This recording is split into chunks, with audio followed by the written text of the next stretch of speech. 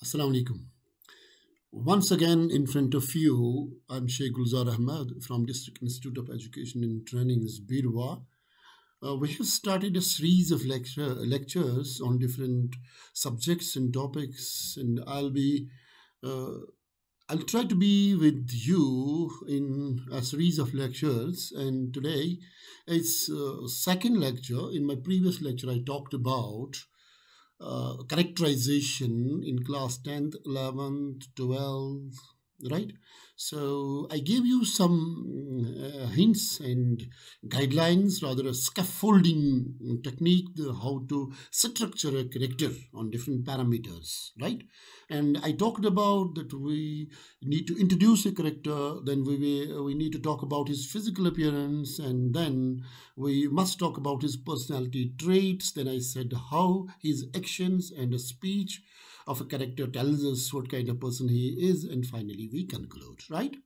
So today in this second lecture i have selected uh, one of the important stories in class 11 the suitor and papa.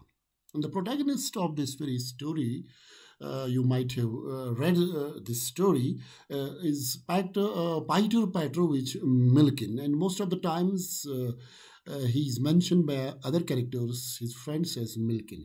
If we talk about this character, we he's introduced in the story as Peter Petrovich Milkin, and he appears to be the main character of this very story, right? And this story is written by uh, Anton uh, Chekhov. Okay, is a Russian writer. So then, and this story is a farce, by the way.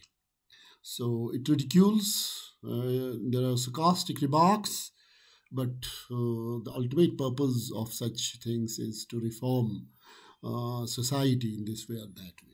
So, this is a brief uh, introduction, and then we come to the body of. Uh, if we if we try to physic, uh, describe the physical appearance of Peter Petrovich Milkin, in you see, uh, he's called as a wonderful lad by his would be father-in-law. You know, Okay, then from the story we can see that he wears a hat but keeps it off the head most of the times and he mumbles and stutters. Peter seems to be a well-built young man. So there's a few things mm, as a witness that what kind of person, how physically he looks, right? Okay, if you go to the personality traits of this very young man, you will see so many things written about. There's a uh, plethora of information about all these things. You will see that Peter is a young lad who believes in love and enjoyment as the only, as the only purpose of life. Okay, he throws parties and enjoys this young man, uh, uh, young unmarried friends. He's a non-serious kind of person. He believes in trivial relations and amusement in life without taking any responsibility. Peter would love to take flowers to Natsia, dance with her and go out with her in evenings and enjoy life to the maximum, right? Peter compromises everywhere and is an irrational kind of um, person and whatever he does i think that is it appears that he is trying to deceive you. okay he did not believe in marriage and could not tolerate the advance of Kondrashkin, the would-be father-in-law in this matter right in fact, he should have followed very in refusing. He had so many excuses and tried to leave that place. Now, coming to his speech and actions, the way he behaved. You have seen him. In spite of all his pretensions, Peter got deeply hooked in the net of Kondrashkin and finally wanted to find madness to avoid the trap of marriage. His unreasonable responses, immature concerns presented him as a confused and secretive kind of person whom nobody would trust. So, very clear in the textbook. So in the end, even Peter's friend, Dr. Fedorov, was against to the strange demand of Milkin and he refused to certify him as a madman. So nobody trusts you when you lose trust.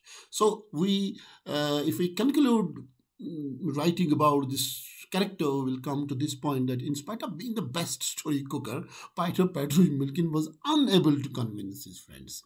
Kondrashkin, the would-be uh, father-in-law, and finally to his best friend, Dr. Fedorov to help him to resolve the issues. This simply tells us that non-serious attitude with irrational excuses can only confuse people but has no solution for the problem that Peter faced in the story.